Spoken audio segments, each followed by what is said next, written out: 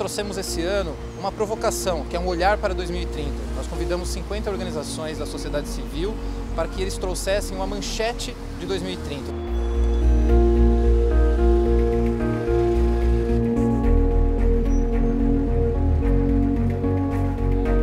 eu acho que reforça muito essa comunicação que a virada traz, principalmente sobre as questões das mudanças climáticas.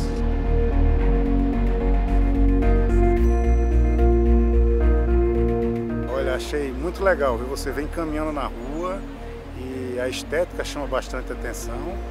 E aí quando você para para refletir sobre esse tema do aquecimento, que é um tema na pauta hoje, né, no mundo todo, deixa a gente realmente pensativo, né?